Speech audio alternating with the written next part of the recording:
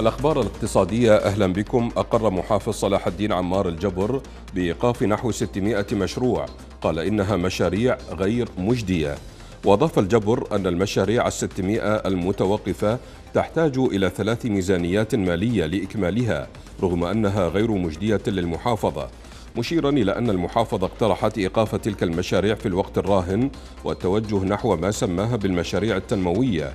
هذا وتعاني المحافظات المنكوبة من إهمال حكومي متعمد بعد رصد مخصصات وصفت بالهزيلة ضمن الموازنة المالية. دعت ناحية العظيم الجهات الحكومية بإيقاف استيراد محصولي الرقي لحين انتهاء موسم الإنتاج والتصدير المحلي في ديالى ومناطق أخرى. وقال مدير الناحية عبد الجبار العبيدي إن الناحية بدأت بتصدير محصول الرقي ذي الجودة العالية بدءا من شهر أيار الحالي ولغاية مطلع شهر تموز المقبل محذرا من تداعيات عدم إيقاف استيراد الرقي من دول أخرى على المزارعين. انخفضت مبيعات البنك المركزي من العملة الأجنبية إلى أكثر من 175 مليون دولار. وذكرت تقارير صحفية أن البنك شهد خلال مزاده لبيع وشراء العملات الأجنبية انخفاضا في مبيعاته تصل إلى 175 مليونا و214 ألفا و174 دولارا. غطاها البنك بسعر صرف أساس بلغ 1460 دينار لكل دولار.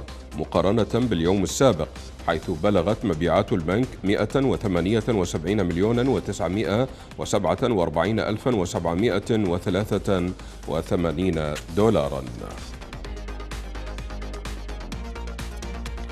أعلنت وزارة النفط الحالية أن صادرات العراق النفطية خلال الربع الأول من العام الجاري بلغت أكثر من 260 مليون برميل. وقال شركة تسويق النفط سومو إن مجموع الصادرات النفطية لعام 2021 بلغت 263 مليونا و112 ألف برميل بإيرادات مالية بلغت 15 مليارا و564 مليون دولار وبمعدل 5 مليارات و188 مليون دولار شهريا موضحة أن معدل سعر البيع الشهري للنفط الخام بلغ 59 دولارا و15 سنتا للبرميل الواحد. واصلت أسعار النفط ارتفاعها في السوق العالمية بعد انخفاض المخزونات الأمريكية وإعادة فتح الأسواق في الولايات المتحدة وأوروبا.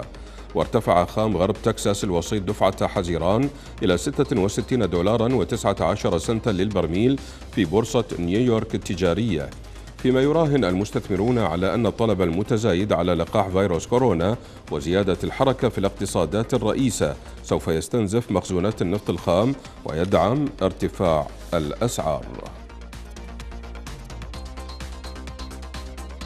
قفز العجز التجاري الأمريكي إلى مستويات غير مسبوقة في آذار الماضي وسط تزايد كبير في الطلب المحلي. وقالت وزارة التجارة الأمريكية إن العجز التجاري زاد بنسبة 5.6% إلى أعلى مستوى له عند 74 مليارا و400 مليون دولار في آذار الماضي بالتزامن مع التوقعات بأن يتوسع الاقتصاد الأمريكي بنسبة 7% لهذا العام مع تعافيه من تبعات جائحة كورونا وهو أسرع معدل نمو منذ أوائل الثمانينات. إلى اللقاء.